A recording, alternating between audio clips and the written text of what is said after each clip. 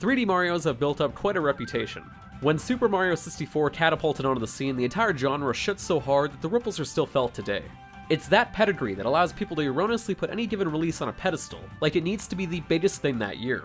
If there truly was a formula of some kind to judge what makes a great Mario, Super Mario Odyssey has earned its spot. Odyssey does what any sandbox game should, give us a heap of areas that feel different and fun to run around in. Atlas entries make everything seem like a real adventure, while segmented and brief interludes set the scene of Bowser attempting to marry Princess Peach against her will. No, the narrative yet again is the draw, it's the journey. What Odyssey truly nails is its ability to surprise you. The new rub is Cappy, a mysterious and never fully explained ghost hat that can possess, sorry, capture, enemies and objects. I'm talking your run-of-the-mill Goombas, Bullet Bills, and Hammer Bros. Yes, you can become them and wreak havoc on their brethren, or plain old household objects like Cacti. I found myself constantly looking for things to capture, which in turn allows one to reach new heights or depths. Sewn in the backbone of these galaxies, essentially, are traditional platforming sections, and 2D portions that are incredibly well restrained and not too saccharine in the sense that they're not trying to shamelessly appeal to retro fanatics. With Mario's locomotion at an all-time high, classic 64 concepts like triple jumping and backflipping are back, coupled by a few new cap-related tricks. You won't have any trouble getting to where you need to go. You can do all this by way of holding two Joy-Con in your hands, which have a specific waggle functionality that isn't nearly as annoying as what Nintendo tried on the Wii. Or you can opt to fit all of that together with a Pro Controller. Going from mandatory roll jumping in Donkey Kong Country returns into the myriad options on Wii U, and now, the Switch.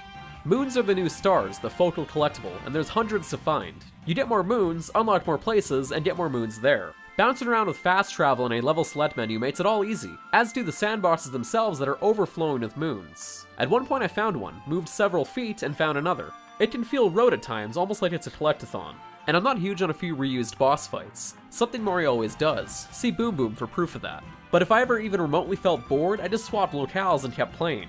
If a lack of direction and permanency or weight is a problem, you'll want to look elsewhere. Sometimes you'll just feel so aimless, running around getting moon after moon, not making much clear progress. As the game doesn't hold your hand, just provides you with vague quests and hints on where to find your bounty. Narrative cutscene hits are around a minute each, and the game could easily work without them. All that, along with a new no-death system, now you just lose coins, your currency for buying most of the game's items, are fine. As I worked my way into the daunting post-game, you need literal hundreds of moons to unlock a secret zone. Then the game asks you to casually collect over 100 more. I was never really hung up on these. I was too busy watching Mario and Cappy read together and listening to a character named Uncle Amiibo that addresses you as sport, like Jay Gatsby. Has there ever been a bad 3D Mario game? Many would reserve that honor for Super Mario Sunshine, my least favorite, but it's a far cry from a failure. No, before any iteration of its flagship franchise, Nintendo ensures that a proper level of care goes into its plumber, and that streak of quality still remains unbroken with Super Mario Odyssey. But for more things Mario, like our written version of this review from Chris Carter, be sure to head on over to Destructoid.com.